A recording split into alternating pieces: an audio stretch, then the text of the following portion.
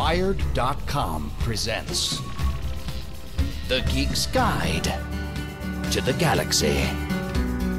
And here is your host, David Barr Kirtley.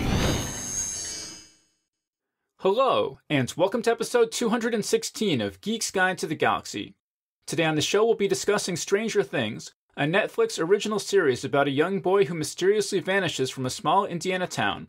The show is set in 1983 and is an homage to classic works of that era by writers such as Stephen King and directors such as Steven Spielberg and John Carpenter.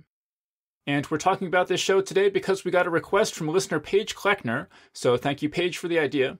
And this will involve spoilers for the first eight episodes, so just be aware of that. And I'm joined by three guests.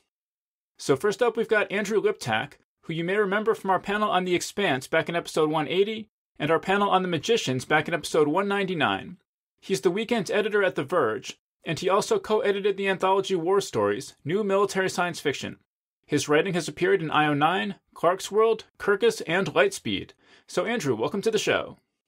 Thanks for having me. Then, next up, we've got Carli Velocci. She's the weekend editor at Gizmodo and the creator of Postmortem magazine. Her writing has appeared in the Boston Globe, Broadly, and Polygon, and you should all go check out her recent IO9 article, Stranger Things is a Nerdy Story That is So Much More Than Its References. So, Carli, welcome to the show. Thank you for having me. And also joining us today is Peter Rubin. He's a senior editor at Wired, where he oversees pop culture and entertainment coverage. He's currently hard at work on a book about virtual reality, which will be published by Harper One in 2018. And you should all go check out the recent Wired.com article, Okay, Let's Talk About That Stranger Things season finale, which he wrote with Brian Raftery. So, Peter, welcome to the show. Hey, it's great to be here. You've got quite a dossier worked up on me, huh? yeah, yeah, this is like hardcore geeks podcast here. Yeah, let's get into it. okay, yeah, and so the first thing I want to say about this show, as I mentioned in the intro, is that it's sort of an homage or a pastiche of all these different 80s movies. And I'm just wondering what you guys thought about that aspect of it. So let's start off with Andrew. Uh, did that aspect of the show work for you? Uh, totally. Um, while I, I, was watching it, I, I, kept getting reminded of uh, two of my favorite films, which is um, uh, Close Encounters of the Third Kind and uh, E.T. the Extraterrestrial, and that it's obvious that the, the Duffer Brothers really drew from those two films and sort of made, as I've been describing it to friends, it's basically an eight-hour version of a Steven Spielberg movie. Yeah. How about Carli? Did you like all the the references? I did. I mean, I was born in 1990, so I kind of missed the 80s, but it was something that I like I watched a lot of like these kinds of movies growing up and I read a lot of Stephen King, so it was a very it was a very nice thing to kind of be reminded of as I watched it. Right. Well, it's it's interesting because you would think from watching this that the Duffer Brothers were kids in '83, and that they were like really attached to that time period. But they were actually born, I think, in '84. So uh, I guess they just absorbed it through going back and watching all these older movies. But it does yeah. really capture I think that. '80s nostalgia is yeah. I think '80s nostalgia is kind of just something that permeates our culture even now. So it's pretty easy to still experience that. Yeah, yeah. They were talking in an interview recently about how they were uh, you know, they came of age in the 90s and they, they were more of uh, like Magic the Gathering fans than they were of Dungeons and Dragons. Uh, but when they decided to set the film, or sorry, to set the series in, in the 1980s, they realized they had to, to sort of go back and, and sort of capitalize on some of the stuff that happened then rather than in, in the 90s. Um, so rather than having Magic the Gathering in, in the show, they had Dungeons and Dragons, which was more popular at that time because uh, uh, Magic the Gathering had, didn't even exist Hmm. yet. Well, I thought the show did a, a better than usual job of depicting Dungeons and Dragons accurately. I mean, most movies when you play Dungeons and Dragons, you go crazy and like try to kill people, so it's a pretty low bar. But uh, True. Yeah, I was like, I'm playing Dungeons and Dragons now with like a group of friends, so it was funny to see them playing it versus how we play it. And I was like, they're not taking turns. Also, there's no beer, and I think as grown-ups, if we've gotten back into into pen and pe- pencil uh, or pencil and paper RPGs, there's there's generally some intoxicants involved. Yes, but there was pizza. it's true. It's the universal. I mean, my big plausibility issue with this whole show is that they killed the Thessalhydra with just one fireball. I mean, come on. exactly. I had the same reaction. I will say that my uh, my they, they had a lot more polish than my Dungeons and Dragons experiences had. Mine were kind of spending hours drawing these ridiculous maps using graph paper, and then when it actually came down to playing, it would just devolve into a complete mess. So the fact that they showed any kind of tactical awareness went far beyond any D and D prowess that, that I or my friends ever had when we were that age. I mean, the other thing is that, you know, at the time in 83, Dungeons and Dragons was embroiled in this huge controversy. And oh, there yeah, was that... no allusion to that in the show. And certainly I remember people, adults, being a lot more uh, suspicious of Dungeons and Dragons than the adults in this seem to be. Oh, for sure. That kind of dovetailed with the the Satanic Panic of the 80s. I mean, this was, you know, in 1983, I was living in Indiana. Like that's where I grew up. This was there was so much about this that that was my childhood, except for the the pedal generated headlamps on the bikes. Everything was pretty much exactly as it really was. There were weird back roads, and there were quarries, and there was D and D, and there was mystery. Um, and you could just kind of go out and roam around with your friends. It was that. It really does a, nice job, I think, of recapturing, at least for for the dinosaurs among us, what, what kind of what it was like then. Yeah, well, so so Peter, I, so I read the the piece on Wired.com I mentioned, and it sounds like you were a little less taken with all the '80s references than than other well, people, maybe. I I was I was taken with them, but at a certain point, and this was maybe about forty percent of the way through the show, it began like I, I hit a rut. Um, it was kind of a there was this sine wave thing that happened where the first few episodes, my wife and I were just completely enraptured, and it was, oh, what about this and what about that, and oh my god, that little girl is dressed exactly like Gertie was in ET. And then after a certain point, I was like, well, I would also like this to stand on its own. Let's see if it's going to stand on its own. So I, I, there was some, there was a little bit of pastiche fatigue, which is really uh, an unfortunate pairing of words, but it it began to set in, and then it they righted the ship. I think it ended up being um, standing, you know, being a standalone story that was kind of compelling in its own right, even while it was kind of inexorably rooted in and influenced by the the kind of other texts that we've been talking about. Yeah, I guess the the homages and things weren't as much of an issue for me because I was not like I, I mean I, I like Stephen King and Steven Spielberg and John Carpenter, but they weren't like the center of my geekdom growing mm-hmm. up, as it were. So I mean, I saw ET as a kid, but I, I you know I couldn't tell you Gertie was wearing that dress or, or things like that.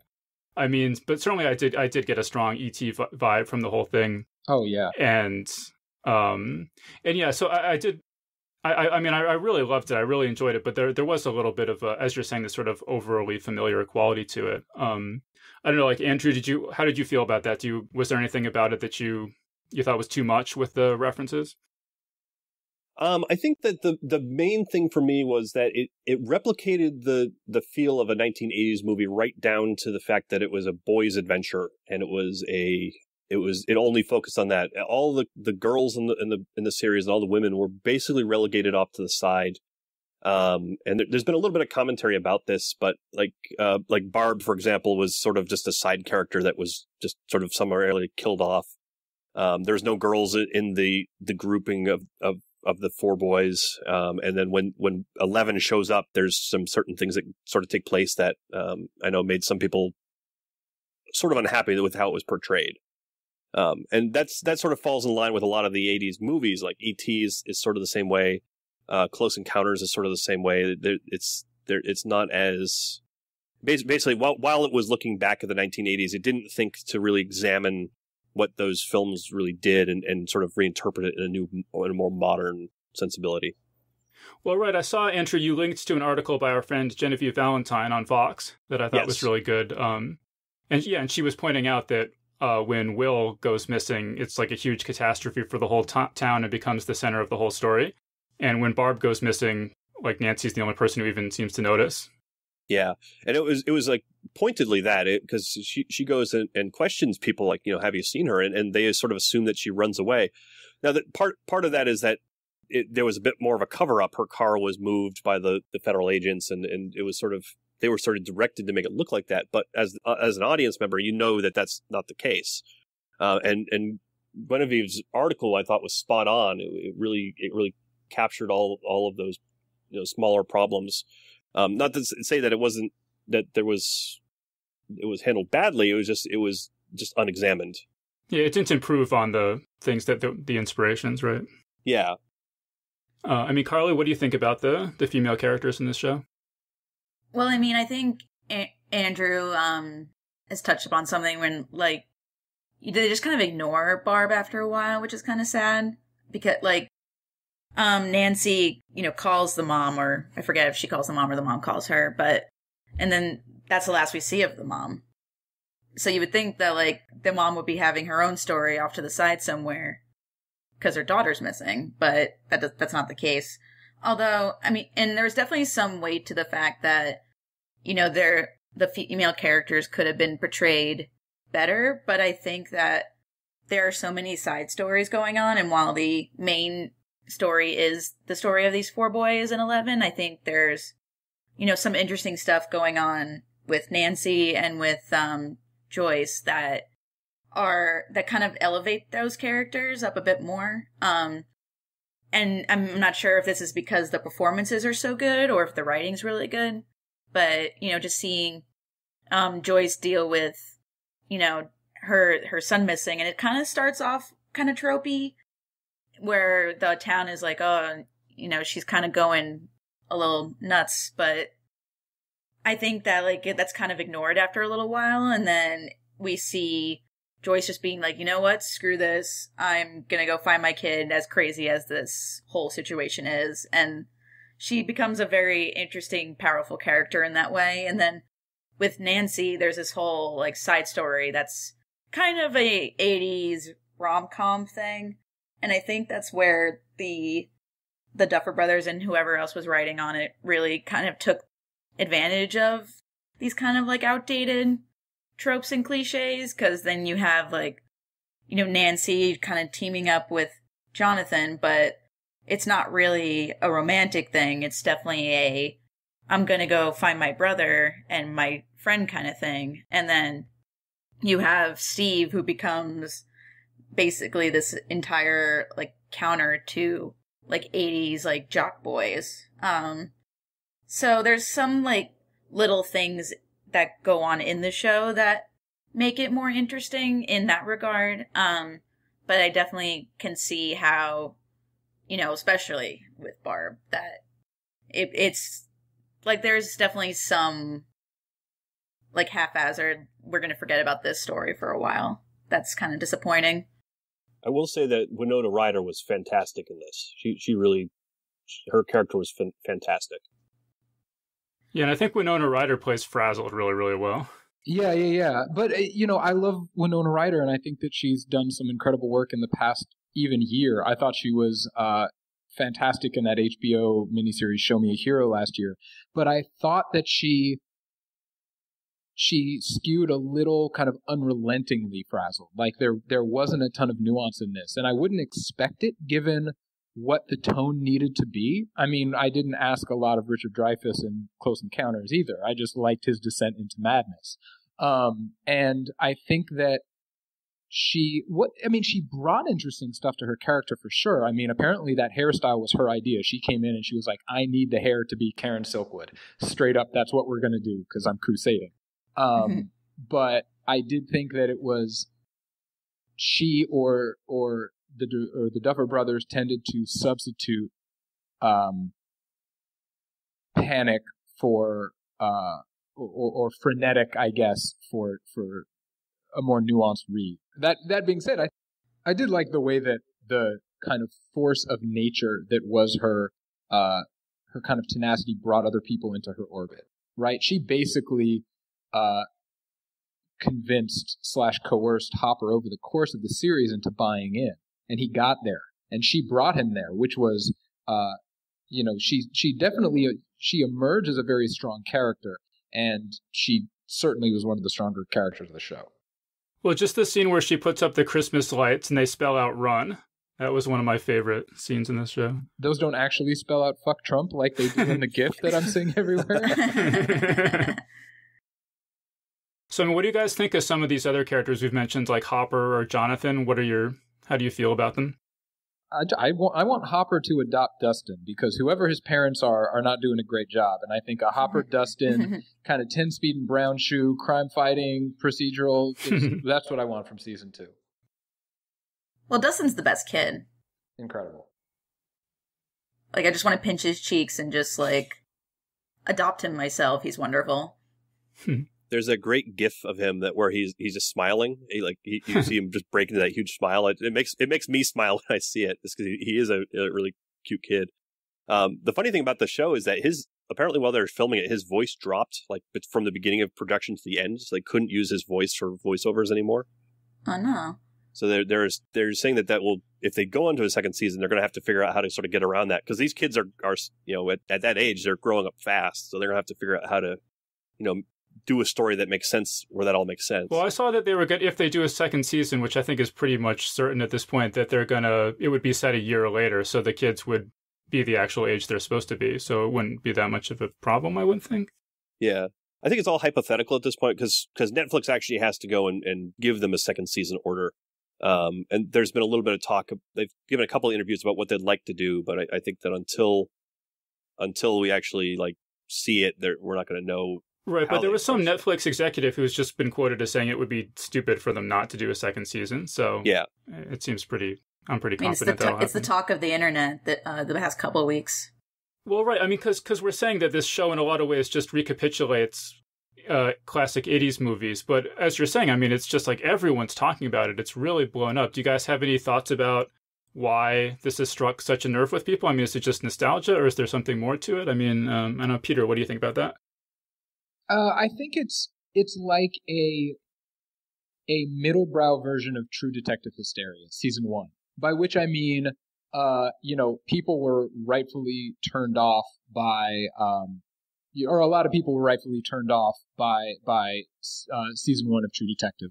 Though the people that it got, it completely consumed them, right? Because you had this world sketched out, and you had the hint of something lurking beneath the surface, and you had this hope that things would get wrapped up really nicely at the end, and and we would learn about this incredible conspiracy. And this throws away uh, the kind of turgid purple tonal stuff uh, and self-importance of uh, you know McConaughey's dialogue in that, and it gives us that same feeling of wonder in a completely recognizable reconstituted package. So I think it brings people along both for this tone that if people don't, if they didn't experience it firsthand, they know it just through the way culture has filtered down these 80s tropes over the years. But then secondarily, there is this thing at play. There's this propulsive thing of, well, one more episode, maybe we're going to find out a little bit more.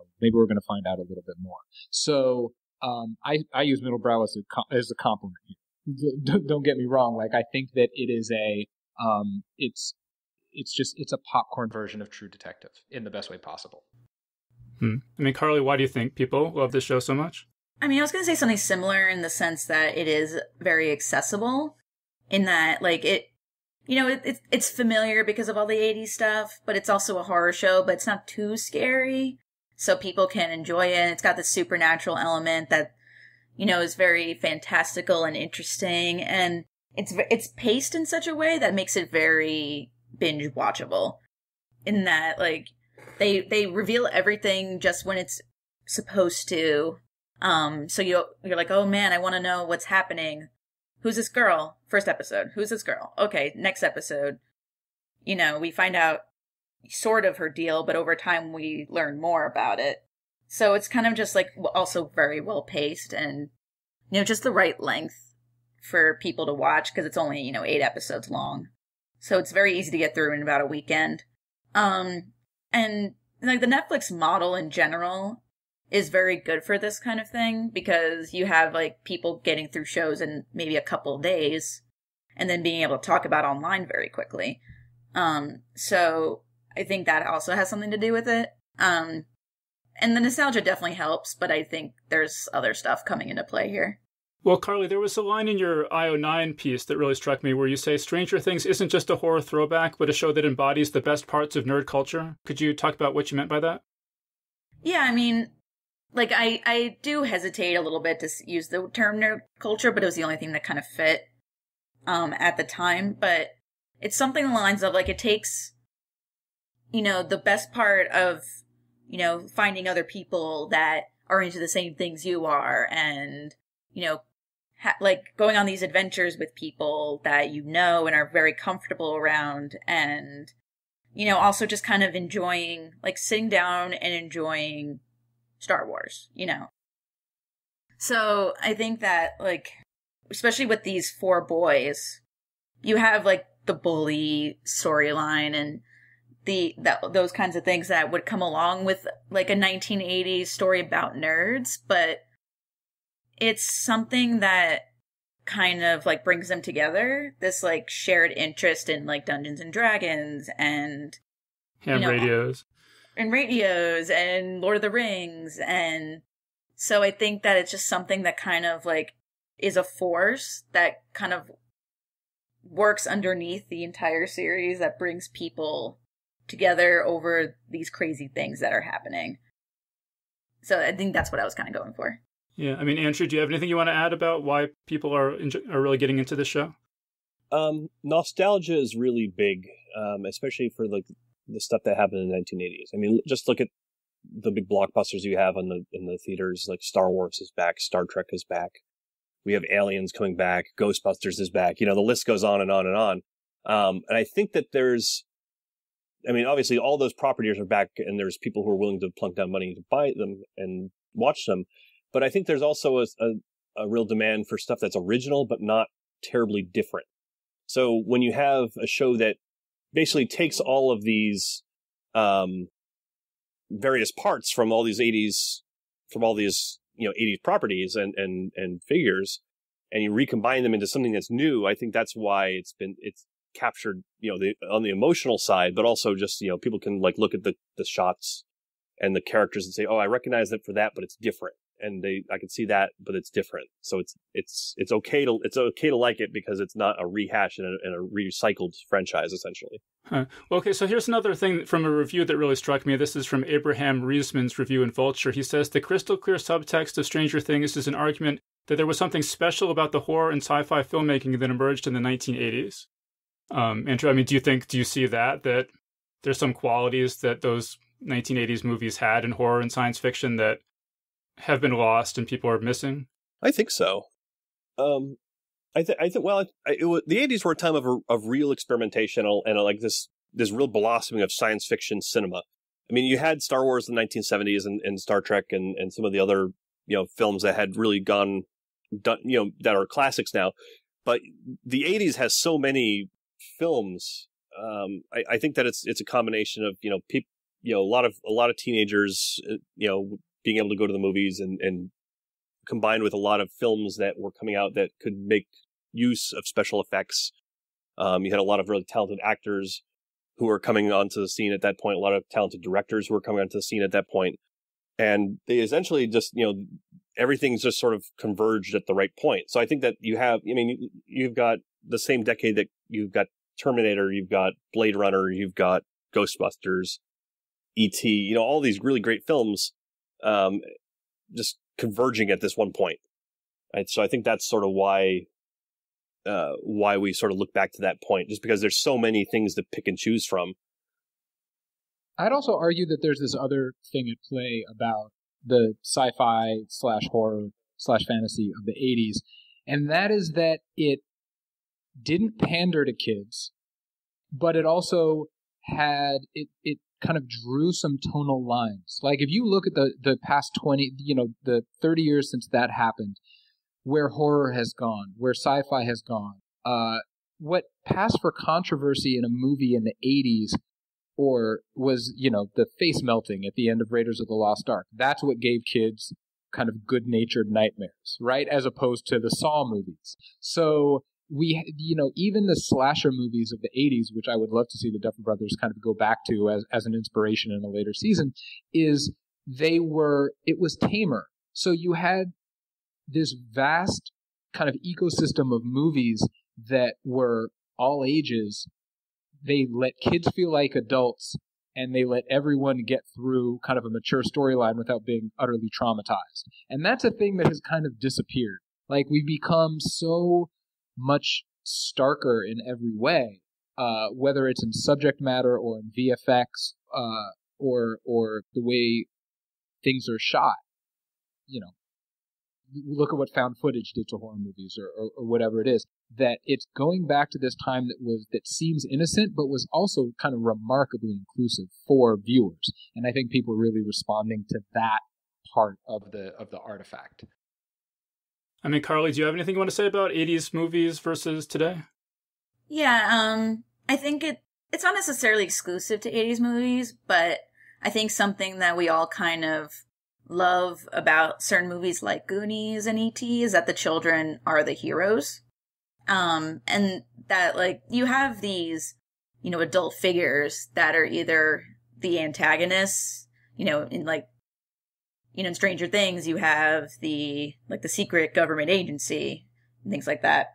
And there are these like kids that are just being like, yeah, we're just gonna figure it out on our own. And then they go do that. And you know, when we were kids, that was so cool to watch because it made us feel like we could do anything and then we were empowered and you know it like we had like heroes to look up to but then we also had people that seemed to be our own age that could do these amazing things and i think there's some part of us even as we're older that still kind of latches onto that a bit um so i think it kind of like that's something else that also spans you know generations and in age uh, in age ranges because you have like you know younger people can watch Stranger Things and connect with the ages of the characters, but then we can be like, oh, we were that age once.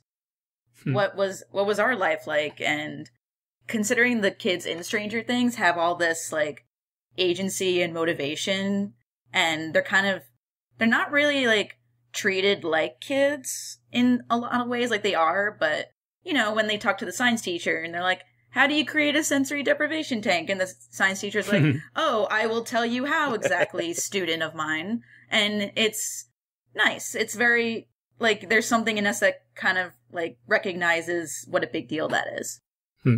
Well, you mentioned the, the secret government agency. I want to talk about that because uh, this is sort of where I felt the show started going off the rails a little bit for me. Is I just really had a hard time believing some of the stuff involving the secret government agency.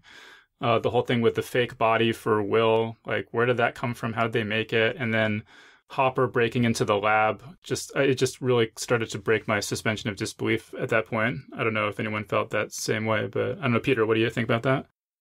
Yeah, I think they got the the fake Will. I think that I saw that body pillow on Etsy, so I'm pretty sure they got that one. Um, but no, I mean I agree with you. I think that that one of the I don't want to say failings, but one of the flaws of the show is because it prized atmosphere so much that it didn't necessarily tie up every narrative bit. Um, and I think that uh, that once you were bought in, you were like, yeah, you know, panoptic, omnipotent government agency. Of course, they would have a you know a stuffed body double. Of course, this and that. Um, uh, and we'll just write it all off to MK Ultra because that was a real thing. And yeah, brain control, man.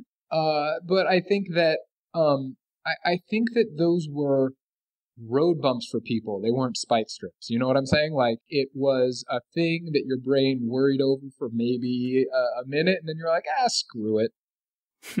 yeah, and it's all kind of in service to the story, so you're just kind of like you just kind of accept it because there's like basically in anything you watch, there's things that don't really. You know, pay attention to logic, but they kind of have to be there because you're like, well, this is only you know so long you got to move the story along somehow um so so there are these you know there are the things like hopper getting into the lab that i'm like well that made no sense because they said that there were tons of cameras everywhere and they should have found him and you know who was funding this government agency and how did they like set up shop and nobody seemed to really mind? Um in this town i feel like a small town would probably be very suspicious of you know an organization like that just being there. Um, especially if it was the 80s and, you know, you have all this like Cold War panic going around. So, like, that seemed also very strange, but it was also kind of just one of those things where you're like, well, it moves the plot forward. Um, and it's kind of funny in like a corny, campy kind of way. So you kind of just let it happen. Hmm. I mean, Andrew, what do you think about the sort of logical issues? So I, I did a little bit of looking into the Department of Energy, and um, I, I, wrote a piece for The Verge on this, and what they what they the Department of Energy had was it, what its mandate is is it's to basically secure the nu- the nation's nuclear supplies and oversees nuclear weapons, nuclear power, um, the um, all the missiles, things like that. Uh, the interesting thing that I learned is that they are also responsible for the Human Genome Project, and they do a lot of research. Uh, they they are the largest researcher of um, like material science in the United States. So I, I didn't find I, I didn't find the fact that they, you know that the Department of Energy was funding this secret uh, program into like mind control because it's it sort of fits with some of the stuff that they probably did do. No, but that's that, I, that's not the thing I had plausibility issues with. It was the more like capturing Hopper and then drugging him and dumping him in his trailer. I mean, you're like you're also talking about a show that has interdimensional monsters, so I mean, there, there's there's there's those stretches are are you know doable. I, I think that the the stretch the stretch with like the Department of Energy is that you have like this top secret uh, facility in or or program in the middle of this small town, w- which is sort of what this what the Department of Energy did is they they did they funded research projects and and I mean it's a it's a mil it's a quasi military governmental facility. I mean it's probably I mean there, there's towns that spring up a, around these sorts of facilities because they're a big employer and and they uh, they bring in a lot of revenue for a town. So I don't think that that was as much of a, a stretch for me. I just sort of went with it. Interesting. Okay, I'll say the other. Uh, I pretty much went with the show, except that the, that thing, and then the other thing was where the bully is holding a switchblade at the kid's mouth and yeah. telling um, um, Mike, right, to to take what is obviously a fatal jump off of a cliff. Um, that that was another thing where I, I my my suspension of disbelief broke down at that point. Yeah, and that Mike would would would actually take the fatal jump off the cliff as well. Right. Yeah, that was that was a weak moment for sure. Kids are jerks. yeah, I was I was gonna say I've I've known some pretty terrible children. Yeah, and I I can I've I'm pretty sure that there's stuff like that that's happened. I I I know I know when I was I I was more surprised about the knife than I was about him ordering him to take a jump. So I mean, kid, kids will jump off of. I, I actually live near a, a bunch of granite quarries here in Vermont, and there is a whole bunch of you know people who go up to the quarries and jump off of similar heights, maybe not quite that high, but you know very high, high uh, uh, jumps. Well, I mean, if the jump had been scary and dangerous, but not obviously fatal, which is how it looked to me in the show, I would have been able to believe it. But it just seemed it was it was like eight times as high as I thought it could should be for plausibility well, issues. You know, we're kids definitely do jump off quarries. Uh, you know, the limestone quarries in Indiana for sure, but they don't do it when they're 11. You know, that's mm. a that is a high school and college kid uh, activity yeah, for sure. Mm-hmm. okay, well, well, wait. So, oh. as, oh. Sorry, I just wanted to add, as somebody who was babysitting a kid in second grade who then pulled a knife on me, I hmm. don't think the the knife was that far of a stretch, but that's just me. Okay, wait. So we have an expert here. So, so what? Is, so have you jumped off, Peter? Have you jumped off a height like that? I mean, it just oh, seems God, like, no. I couldn't oh, God, see no. anyone surviving that. Uh, but you know, I will. If we need a cinematic precedent, I will refer people to the opening scene of Breaking Away, uh, the '79 or 1980 movie set uh, in my hometown, where college kids go and jump off a quarry. Though where they filmed in Georgia, the quarries were a little bit higher than the limestone quarries of Indiana. So, uh, you know, while it happens, I don't know that they were that that high. Hmm. All right. I mean, another thing I kind of want to say about this is that I, I have not, as I said, gone back and watched E.T. or Poltergeist or something like that since I was a kid. But I have this sneaking suspicion that if I were to go back and watch them now, they would not strike me as, as well executed as this in terms of the acting and the cinematography and things like that. I mean, just the scenes in this where uh, where El is in the kind of like psychic world with the dark water under her feet, where she's spying on people. And I mean, that just struck me as unbelievably visually gorgeous. And I don't remember seeing anything back in the 80s uh, of that sheer visual appeal. But that's just a reflection of technology, isn't it? I mean, we had Labyrinth, and it just couldn't do what we can do now. Uh, yeah. Y- you know, it's it's the the democratization of high octane visual effects and CGI. I think that things were shot as sophisticatedly. Uh, you know, when Donner made Goonies or when Spielberg made E.T., those uh, those created some of those tropes for a reason and, and shot things a creative way for a reason. Um, you know, when El or uh, when El comes out of the gets dressed up in the in the um, the wig and the dress and walks out in the hallway. If you go back and you look at the the ET scene that that's really inspired by, the way they shot that was kind of beautifully low to the ground so that you had that full effect of kind of being on ET's level and the way that Spielberg created mystery and the way that Donner created that thrill of kids going off and having an adult adventure, I think seeps through visually uh, in, in a lot of ways. It's not, you know, it's not Kurosawa, but it, it really did create a library of, um, of kind of cinematic moves that I think uh, have, have been trotted out time and time again. I just I went and saw after I finished um, Stranger Things. I went and and and started watching ET, and I, I don't think I would agree that it, it doesn't I, that movie holds up really well, um, and the the acting in there and and the the direction I think it's still it, it still holds up really nicely today.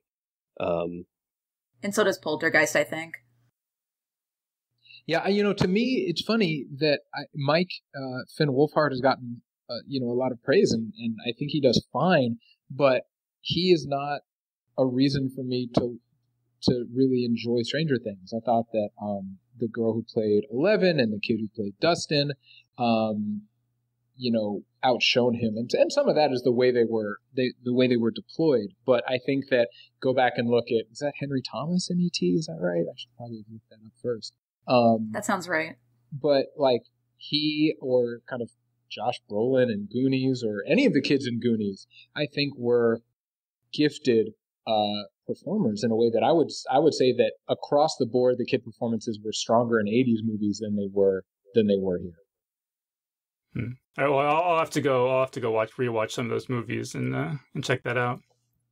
Yeah, uh, there's a great um, clip online of that somebody had went and pasted together all of the all of the scenes that Stranger Things had borrowed um, from from all these 80s films. It goes from everything from Aliens to ET to Close Encounters, and it, it they they basically have the the two films or the two clips running next to one another, so you can see visually how they they line up, and it's it's really that's it, it serves as a really good list of what what to watch if you're still looking to sort of follow up on that uh, that feeling of the the nostalgia. Yeah, no, I saw that. That was really striking. Yeah. Um, you know, it's interesting too that I think that a lot of those original movies, it kind of depends on how you go back to them. Because if you're seeing them for the first time now, you know, I had heard growing up, I'd heard so much about what a groundbreaking movie Easy Rider was. And by the time I finally saw Easy Rider, I was kind of like, okay, well, what's special about that? Just because so many movies that I had seen in the intervening years had borrowed from it or been hmm. inspired by it. And I think that, and I, I, I hate relying on you had to be there because I think it's, it, it just doesn't hold water. But I think that to go back now and watch those movies for the first time could be disappointing. Yeah, I had the same experience when I saw Star Wars for the first time because I saw it kind of late. I saw it in high school. So you know, by then you had all these people being like, Star Wars are the best. And I had already, we had already passed by the prequels, you know, at this point when I was in high school. So I was like, okay, I'll go back and watch the originals. And, you know, they were good. I enjoyed them, but they definitely didn't live up to the crazy hype that, you know, that had been embedded in my head. And you're also taking them out of that kind of collective experience as well. Yeah. You know, when they're ruling the zeitgeist the way that they were, it was like seeing Batman in '89. Uh, you know, you go back now and you watch the first Batman for the first time, and it's robbed of the hysteria that was around that surrounded that movie when it was in production and when it came out. Is that that's an I, I don't think that we can completely invalidate the the kind of enhancement that that brings to to a viewing experience. Okay, well, so Andrew, so I, I, mentioned I really liked the cinematography in the show, and I also loved the music. And I saw you wrote a piece on Verge about the soundtrack for this coming out. You want to talk a little bit about the music in this? Yeah. Um, so the soundtrack is was done by a band called Survive, and that's Survive with a uppercase and with a space between each letter. Um, of course, it's a it's a synth band out of uh, Austin, Texas, uh, and uh, I, I, don't know when I when I started watching it, I was really struck by like the the, the first thing that really struck me was the was the opening credits. And Yeah. It's just this really cool, just synthy uh, tune. It, it's it's not distinctive. It's not bombastic. It just it just fits the the tone of the show perfectly. And as I as I was watching it, I just kept noticing these, you know, how just understated it was. But I have a feeling that if you were to strip the soundtrack out completely, it would really, um, you you would notice it, even though it's it's not really noticeable. Um, and uh, apparently, a lot of other people really liked it, and they were they're tweeting or Facebooking Netflix, and they they basically said, "Yep, we've got a we've got a sound a soundtrack coming soon, but um, there's no date for that. So hopefully, at some point, um, they'll release that." Um, I do know that the band is releasing a new album later this year. It's called R uh, RR seven three uh, four nine, and that's coming out at the end of September. And, and they've got a couple of tracks on on Bandcamp that are are quite good. You can listen to a couple of them. Does does that name have any significance? I, I honestly I don't know. I it it just seems to fit with the type of band they are. Um, they, they're they have another couple of albums that are all sort of titled in similar ways. Um, so uh, maybe maybe they've got their own little internal thing that they're that they're doing. Um, another album that they have is called MF064, uh, MNQ026, uh, HD009. Um, so they've got, it looks like they've been sort of doing that for a little while They just name all their albums by just randomly mashing keys on the keyboard. or something, or maybe they get their cat to. to stand up on it.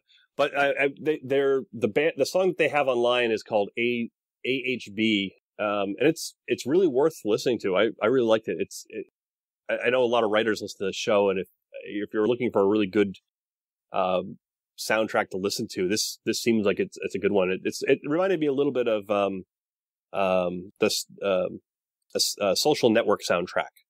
Um, Oh, the Trent is it- if Reznor. by uh yeah by Trent Reznor and and um it, it's it's just sort of one of those things that just sits in the background and it just it sounds cool I don't know how I'm not a sound person, so I don't know how they did this, but man, whenever the characters were going through that portal in the basement of the lab, my it just made my skin crawl or like my hair stand up on end. There was just something about the the way the sound design was.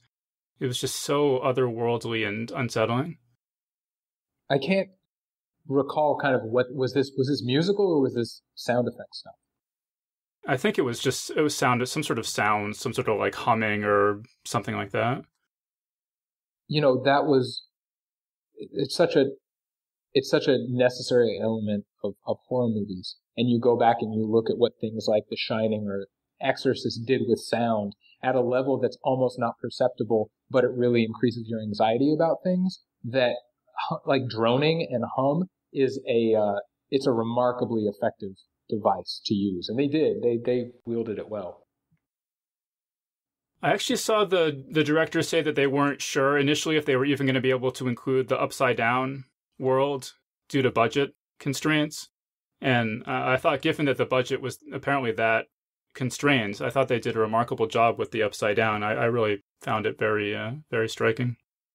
I mean, it is very simple in a way. It's just, you know, the normal world, but covered in this, like, weird dust and these, like, web looking things. So it's, it's like a very, like, ingenious, very simple design that, like, really is striking because it is so weird and it's so, like, just completely opposite of what we, you know, understand. And I think the whole scene with Barb early on that you know we all despise because Barb is great.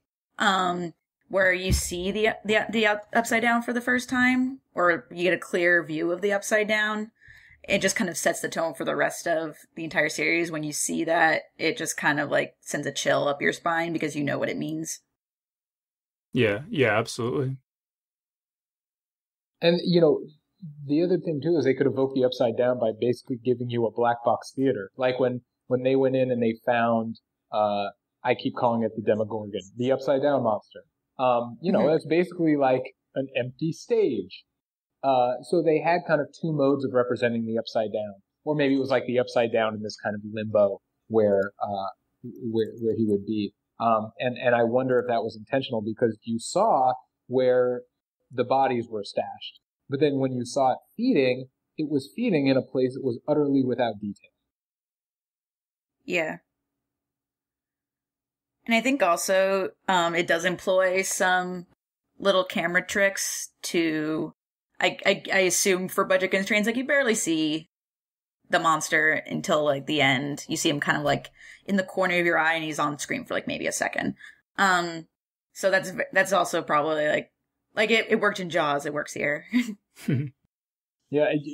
Other than the last episode, you're right. I mean, it was just snippets. And so you had the kind of disintegration of the monster, and you had the moment with Will at the very end. And beyond that, um, yeah, there wasn't a lot of kind of expensive seeming sequences. Well, I guess speaking of the disintegration of the monster, you know, that brings us to El's death. Um, I mean, Genevieve in her article was was pretty. Or, oh no, it's it's uh, Lenika Cruz in the Atlantic. Uh, maybe both of them were, were pretty critical of that. I mean, how did you guys feel? Like Andrew, how did you feel about El dying at the end? Oh, I don't think she's dead. I think she's coming back.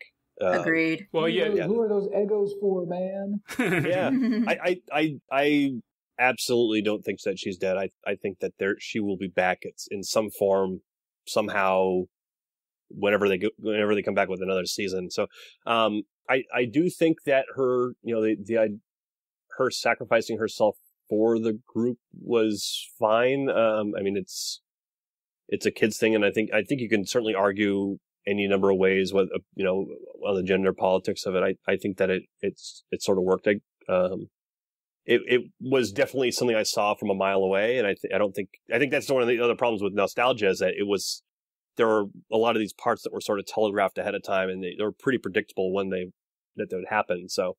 Um, I, I, I thought it was a fine a fine way to end off in the season. I just thought it was it was fairly predictable. Agreed. When once they started talking about like the Winter Ball or whatever, it's like, oh, she's gonna die. Yeah. I do think that there's something, you know, the the one place where there's mystery to me is what Hopper's relationship now is with Doctor uh, with Doctor Brenner with Matt Matthew Modine's character. Like they struck an arrangement so that he could go in to the Upside Down. But then when they came out, he got in the car there's you know it's it's it's one of the threads they're going to have to pick up, but it's one that is I, I think will kind of shed some light back on season one. Yeah, agreed. I, I thought the mysteries and their resolution was was oddly structured in this to the extent that you could almost take away the last couple scenes and everything would have been tied up perfectly neatly, right? Absolutely um it's almost like you know the it's almost like they didn't know whether they were going to get a season two or not and then you know they're like okay we're getting a season two let's shoot a couple of scenes to to create some new mysteries. I didn't feel like they flowed particularly organically. You know I, it seems like if they yeah. um you know I, I think if if some of the mysteries had some of those mysteries that came up at the end had been introduced a little earlier i think it might have not felt so like we're wrapping this up. Oh wait no we're not. Right at the end. Yeah I think that they they they also uh, finished production like a week before it went up online. Oh wow! So it was it was a very I I, I think that that they put in those elements just to make sure that you know they would um you know that they have these hooks for another season, and so I I, I think that that would be a, a almost an essential thing you do now with a television show. Even if it even if you intend it to be just a season, you still leave you still leave a little bit in case it, it blows up. And if it didn't blow up and it didn't, it, it, was just sort of a sleeper hit, they could just say, well, this is, you know, we could just tie it off pretty neatly. Um, I, th- yeah, I think it does show that they had some confidence in it. Sorry, Carli, I didn't mean to. No, I was just, I was just gonna agree and say like I did find like the ending was this like nice balance between we could have ended it here, but we also left room for a, a second season if we really wanted to. Yeah, one thing I, I was sort of wondering about, um, is, is sort of related, is is they, Netflix is great at just dumping all the episodes online and letting people sort of find it and have the word of mouth stuff, um, you know, filter through. I, I was wondering what what would the reaction have been if they had released this week to week, and you'd sort of have this this story that's unfolding and the, the word of mouth is unfolding at the same time. You know, like when Lost came out, everybody was sort of going crazy for, you know, like, oh my God, what are the, um, you know, you know what what what is this thing? And everybody was talking about it at the same time, and everybody you know went to ABC on that whatever night it was showing, and they'd watch and then go back and discuss it.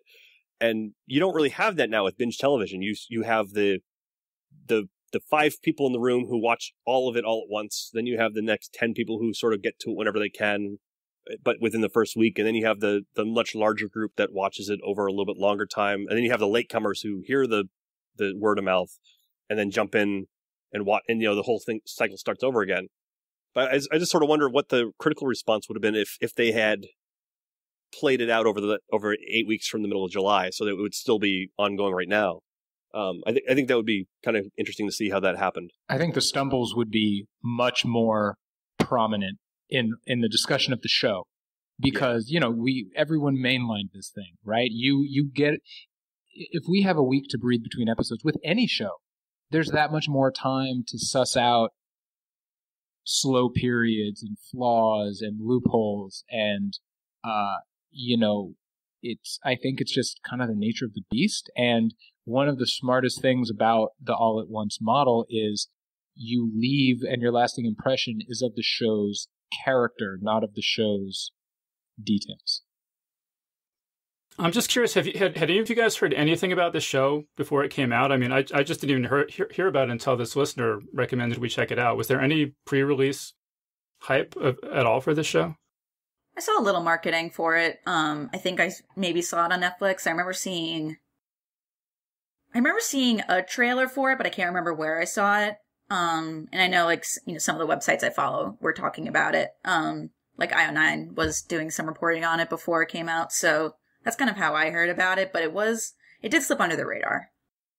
Yeah, I I, I found out about it through Facebook. Uh, people were talking about it, and e- even then, even the first couple of people were talking about it, I didn't really pay attention, and, and then you sort of got this critical mass. Yeah, I mean, the, the, the way the Netflix publicity machine works is uh, kind of inconsistent. And, and for whatever reason, uh, it wasn't, you know, I got, let's see, I'm actually going back now so I can, I can tell you when I started even seeing things. And that is, gosh, no, it's not until they sent out the nat, like, here's what's coming to Netflix in July on June 21st that I had my first inkling. And to be honest, uh, it kind of, if you hadn't heard anything about it or you weren't talking to people who were excited for it, it was like, oh, what's this YA show that has, um, that has Winona Ryder in it? It wasn't until, I hate to admit it, it wasn't until the Monday after it premiered. I mean, I noticed it on Netflix when I was using Netflix, but I wasn't like, oh, what is this? And it wasn't until word of mouth started to spread. And that's the magical thing about this show is it's not like, oh my God, David Fincher and Kevin Spacey are, are making a show for Netflix. We've had so many marquee shows come to Netflix now that this just kind of was the sleeper. This was, this kind of slipped through the cracks for everyone. Uh, I also just want to mention so, in one of the last shots of the show, we see that Nancy has gotten together with uh, douchey Steve rather than creepy Jonathan. He's not that douchey. Uh, well, he just he just looks douchey. He just has a terrible splinter. I mean, how'd you guys? So, so Carli, how'd you, you, you, you did you, you endorse Nancy's choice of uh, Steve over Jonathan? I mean, I mean, she's in high school. She's not going to end up with either one of them, regardless, because it's high school. Um, but I don't, I don't think it's necessarily a bad thing that she ended up with Steve because Steve did, like, he did tr- actually care for her, and over the course of the show, you see him actually trying to prove himself to her to be a decent guy while, you know, jo- her and Jonathan, the only thing they really had in common was that they had two people in their lives that went missing to this thing. And, you know, they talked a little bit about like teenagery things, like, oh, no one understands me, you know, those kinds of things. But they didn't really, we didn't really see their relationship outside of that. So I think that like people wanted them to get together because Jonathan wasn't the like the popular kid and we don't we don't we generally prefer it when the underdog gets a shot. Um, I think I think the relationship's probably just going to be expanded a bit more if they do a second season because they definitely that's not definitely a thread that they leave open. But I don't mind it that she ended up with Steve because Steve did eventually kind of prove himself to be a decent human being at the end, and you know that endeared him to me. Besides the fact that he had amazing hair. um, well, well, you said in your article, I think, right, that you never got past Jonathan taking pictures of her undressing, right? Yeah, I, I know, like that wasn't his intention, but it's still very creepy, and I would, I, I would never like personally interact with somebody who ever did that to me. I mean, some other people are more forgiving, but for me, that's just like a huge no. I mean, what do what do your other guys think about Steve versus? So, well, so, so they did something interesting with Jonathan, creepy voyeurism notwithstanding, uh, and that is the the '80s trope of the shy kid or the loner that turns out to have a rich inner life. We knew that we knew this kid's inner life before the other characters did. So kind of we had invested in him as a good kid before the photography and after the photography, which was a kind of complete reversal of that trope. Um, but that being said, only one of those two had the presence of mind to actually twirl the spiked bat and give it a spin before they hit the monster during that fight. I was like, where did this dude get the presence of mind to pull some acrobatics with a spiked bat while he was trying to deliver a death blow? It it kind of the way that they would sprinkle in those little like alpha jock villain flourishes, like he was so much like at the beginning he was kind of Billy from Karate Kid, and I hate to keep speaking in comparisons. And then he had his redemptive moments, but they were always leavened with that. Don't forget, he's also a douchebag.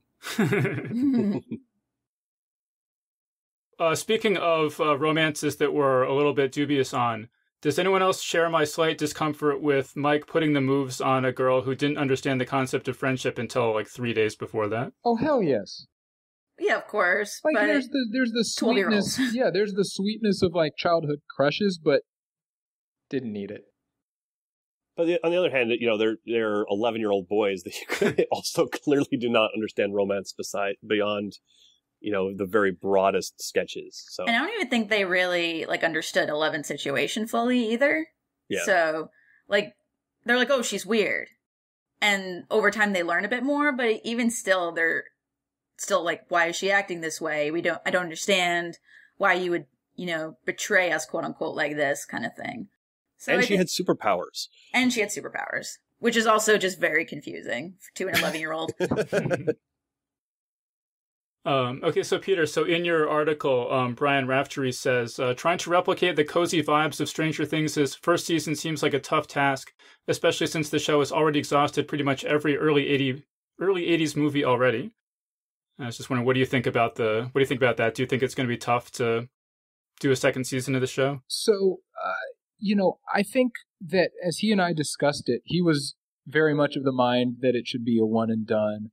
Uh, and I liked the feel of the show so much I didn't want to be, it to be over, but I also didn't want them to descend into that narrative uncertainty that the writers of Lost did. So I think we came to the agreement that I'd like to see this as an anthology model, which I, I realize is getting a little bit played out on television, but I think that there is such a great world here that I would like to see them uh, I'd like to see Stranger Things come back, but I don't think that that Stranger Thing necessarily needs to be the Petalhead monster or the Upside Down. I think it could be a similarly atmospheric exploration of any of the other things that informed uh, that age, whether it was, uh, you know, go back to the Satanic Panic again, or UFO conspiracies, or kidnappings, or what have you, or or slasher movies. There were so many kind of cinematic and uh, and sociological influences that I think it could very well be that American crime story novel where each season you get this kind of fast, propulsive, satisfying eight episode joyride through one of those facets of the 80s. Yeah, I agree with. I mean, I I think it's going to be hard to do a second season of this because that, like, again, they didn't introduce, to my mind, enough stuff that wasn't already resolved to yeah. to really propel the second season. And I mean, they said I think that they're essentially they're planning to bring the same characters back. That's what the buzz seems to indicate, so that it sort of cuts against doing an anthology. But um, yeah, I, I really liked this at eight episodes, and I'm I'm kind of apprehensive about because it seems like they either have to introduce completely different things, which risks ruining what we liked about this, or give us more of the same, which I don't think I would right. be satisfied with. I, I, think the danger is overextending an idea. I although it does can... give them, yeah, I was going to say, like, although they do have the opportunity to build on things and also like tweak things that people might have had a problem with in the first season. Yeah, like maybe they'll tone down the references. Well, I, I don't know. Uh, I don't know if that would be a good move for them, just because the the whole first season was built on nostalgia. Coming back without it would probably uh, kill it a bit, honestly. Um, but what what I was sort of thinking what they would, what they could do is they could explore a little bit more of you know what is up the upside down world because it, it I, what I was what I was sort of wondering is you know you have this world that looks almost identical to our own, but it's it's the atmosphere is tanked. There's weird stuff growing all over it. So like maybe maybe that there's maybe the petal monster is just the tip of the iceberg, and that there's more lingering there, and that's what's to kind of come out in the next season. That that's sort of the direction I hope they go. They they can they can build on it a little bit more. They can distance themselves a little bit so it's not the same rehash, but um, make it a little bit bigger and a little bit um, uh, more compelling moving forward. Yeah. Plus, like there was the egg. Yep.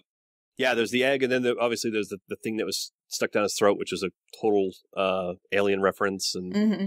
the, my one concern is though is that th- this show has been like you know fa- fairly universally praised. It's, it seems like the the buzz is that it's it's more people like it than dislike it.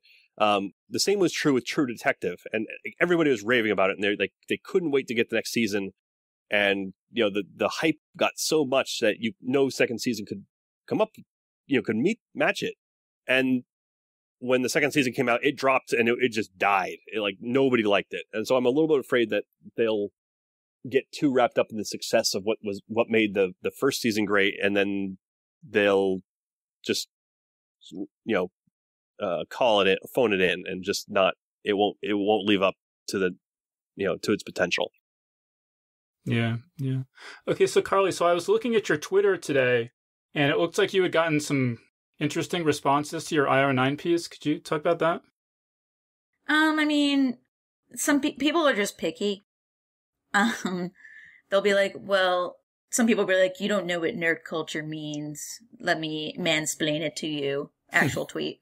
Um, and you know, people who just like didn't like attach themselves to Stranger Things in the same way. And I tried to make it clear in my piece that this is just my personal, this is based on my personal experience and how watching the show kind of brought up, brought back certain memories of, you know, being a weird kid in middle and high school. So I don't like people's opinions don't really bug me in this scenario because I was like, this is my experience with the show. This was my nostalgia. This is, you know, when I looked at the, how the show portrayed D and D, how did I feel? Um, so, you know, and besides, it's the internet. Everyone's going to have a negative opinion about something. So, yeah, because you say nerd culture is wonderful, but it's also terrible.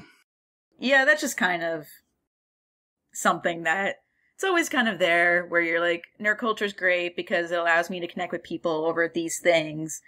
But then people come in and just kind of ruin it a lot. And that, those are things that are pretty widely talked about online. It's not just something that I have an opinion on. That's just my opinion. Um, you know, you get people who come in and be like, well, your experience is wrong because, you know, X, Y, and Z. And like, it's stupid, but that's just stuff that like, if I'm going to write on the internet, I got to learn to ignore it or, you know, just take it in stride and just kind of deal with it because there are people that are going to be like, oh, I completely agree with you or I disagree with you, but I'm going to have a civil conversation about it. If only those were in the majority on the internet. yeah. Have you guys seen any like responses like, oh, this song didn't come out until December of 1983 or things like that where people are really I saw uh, one, picking the. We did a uh, we did our gear team did a breakdown of some of the gadgets, and they found a couple of discrepancies, but they were doing it with their you know their tongue firmly planted in their cheek. I did see one. I can't remember where I saw this. I'm gonna guess Reddit, but it was uh it was a kind of an angry deconstruction of all the flaws in the opening D and D scene, and I was like, come on, come on. Dude, I'm just curious. Do you remember what any of the flaws like? Like, what was the most? It was based ridiculous? on. It was based on. Uh, I did he have to make a dexterity check? I can't remember what it was, but it was basically like you only hit to one like it was it took one d10 for this. It was like you could hear the guy's glasses being pushed up his nose. It was uh and i don't remember ad&d rules uh, uh nearly enough to be able to kind of reconstruct what this person's issue was. Uh but rest assured it was minor and pedantic yeah it was like i got a comment on my article that was basically like why are you calling d&d a board game exactly exactly it's like because sometimes it has a board like don't no need to be so picky about it. It's a it's fiction. But this is my childhood. They all scream. uh, IMDb has a has a small list of goofs, and it, it's usually like you know the, this gun wasn't introduced until the 1990s, or this car wasn't introduced.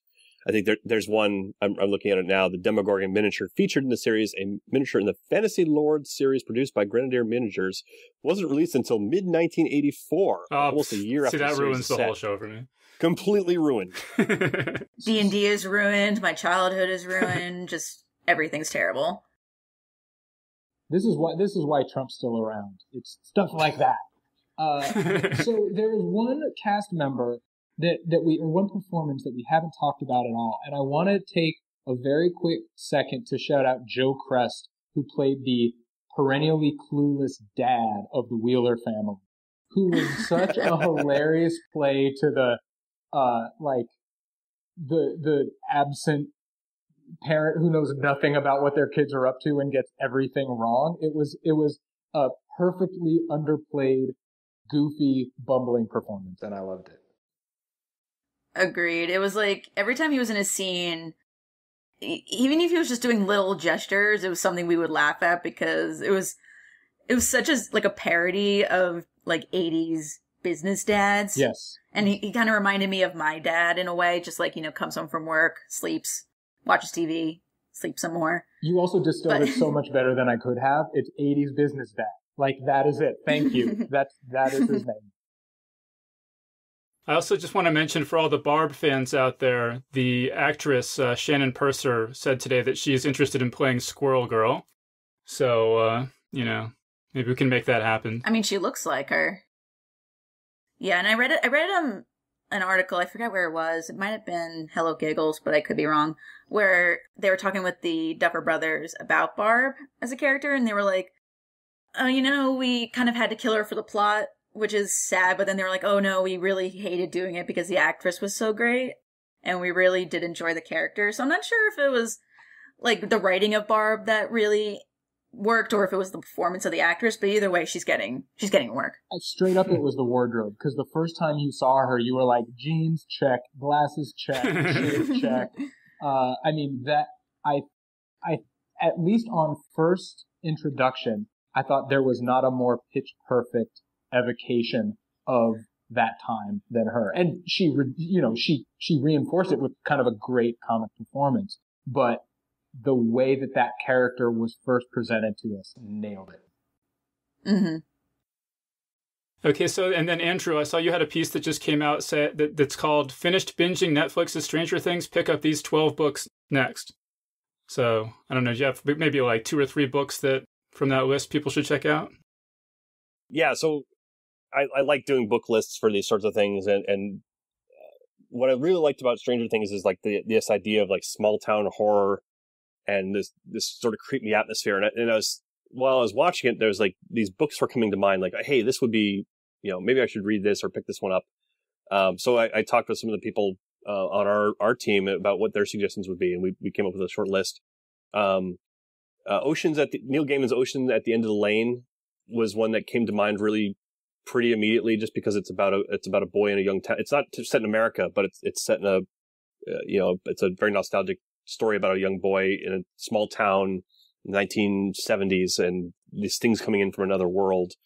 Um, there was also uh, a Wrinkle in Time deals with alternate worlds and and sort of traveling to get a family member that's been kidnapped back. Um, and uh, what else do we have on there? Uh, oh, Disappearance at Devil's Rock by Paul Tremblay. Um, that one is actually is about a a group of friends who uh, a, one of their friends uh, disappears mysteriously, and you're never quite sure if there's a supernatural element to the his disappearance or if it's just a you know a run of the mill disappearance. Um, but that that movie, or sorry, that book came right to mind um, when I was when I was watching it, and uh, uh, I highly recommend reading it too. Um, and then the last one on the list is also uh, Annihilation by Jeff Vandermeer, which uh, it, it's a, a very very creepy book about uh, this alternate world or this thing that's coming into our own world that's sort of cut off the rest of uh, the southern coast and there's strange sciencey things and stuff that happens. So they all they all sort of fit in some way or another. Yeah, yeah. So people definitely check those out. And while you're waiting for season two, there's 12 books on the list, so you have time to read them all. Can yeah, I- and there, Sorry, I was just Go gonna ahead. say, can I? I don't know. I don't know if this is on your list, so you can edit it out if it is. But uh, I one book that came to mind for me was was it the last horror novel, at the end of the world or something like that? It's by Brian Allen Carr. Um, and it's this novella that's basically about a small Texas town that's being overrun by like apocalyptic monsters. And it's got this really similar, like creepy small town feel to it um, with some very interesting characters, and it's very short. Um, so that's also something I would recommend.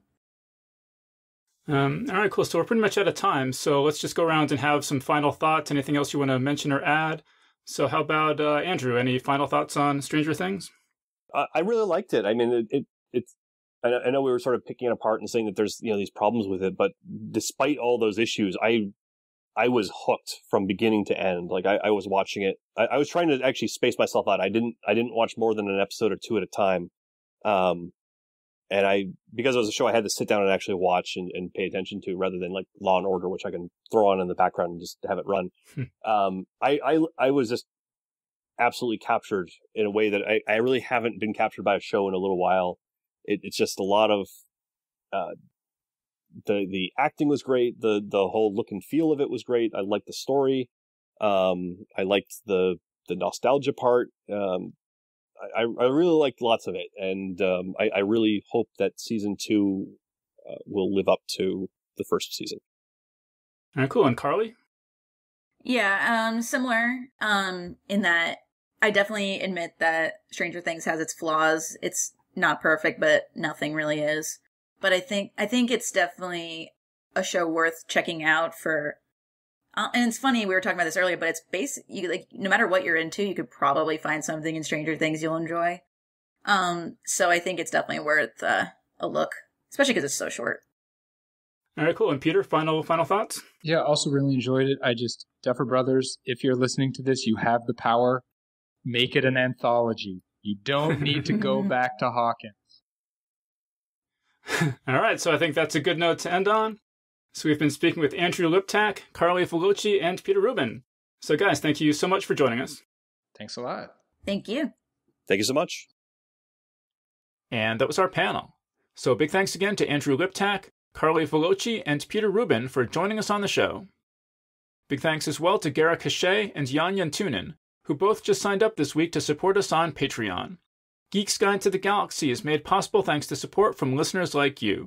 So if you enjoy the show and want it to continue, please sign up to give us a dollar or two per episode over at patreon.com slash geeks. And if you'd rather make a one-time or fixed monthly contribution, you can do that via PayPal over at geeksguideshow.com slash crowdfunding. So big thanks again to everyone who's contributed. We really appreciate it. All right, so that was our show. So thanks everyone for listening, and we'll see you next time. The Geek's Guide to the Galaxy is a production of Wired.com. For more information about the show, visit geeksguideshow.com. To learn more about your host, visit davidbarrkirtley.com. Music and voiceover produced by yours truly, Jack Kincaid. If you enjoyed this program, tell your friends. If you didn't enjoy it, tell no one. Thank you for listening.